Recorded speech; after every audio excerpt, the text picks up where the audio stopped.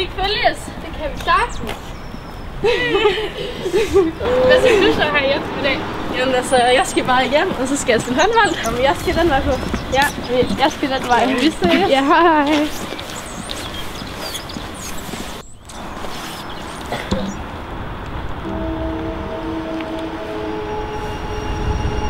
Hej til jer.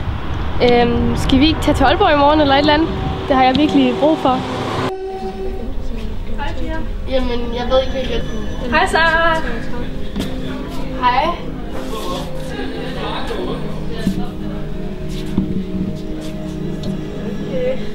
When